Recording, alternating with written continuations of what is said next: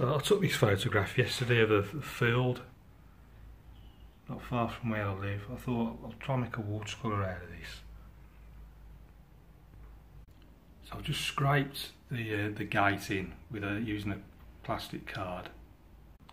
But then the, the sort of horizon middle ground, often I'll carry continue while the paper's still wet.